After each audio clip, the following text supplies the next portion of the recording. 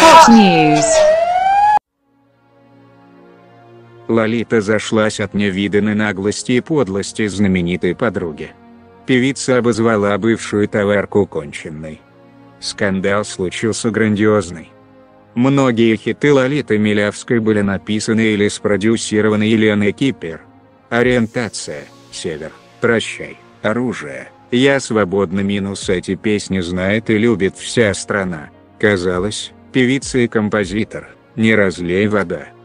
Но между ними пробежала кошка. Дело, конечно, в деньгах. Дело в том, что артистка не так давно передала управление над некоторыми своими песнями, в том числе «Ориентация», «Севера на Титанике», в распоряжение Кипер, заключив с ней договор. Однако уговоренной суммы авторских отчислений, а именно 6 миллионов рублей, Лолита так и не досчиталась. Дура я, что не прочла договор. Предупреждаю всех, и коллег тоже, ребят, читать все так и надо.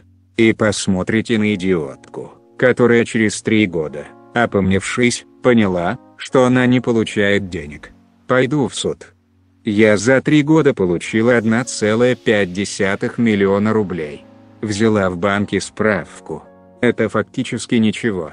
Мы требуем вернуть 6 миллионов рублей, минус заявила певица. Артистка обвинила бывшего сопродюсера в мошенничестве и намерена добиваться правды. Скандал случился грандиозный, а Лолита еще добавила масла в огонь, написав в соцсетях, что более наглого существа я в жизни не видела.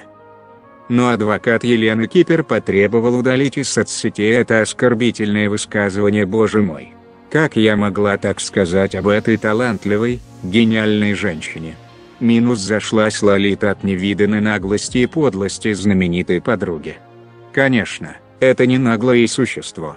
Это оконченное. Ну а дальше разберется суд.